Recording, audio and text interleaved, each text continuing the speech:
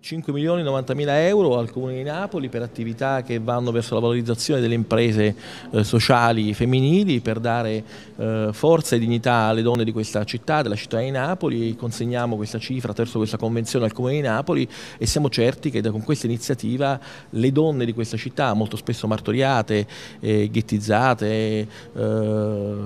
qualche maniera perseguitate, potranno in qualche maniera avere strumenti operativi, finanziari per eh, potersi rilanciare per poter far partire le proprie attività e per eh, fare promozione sociale.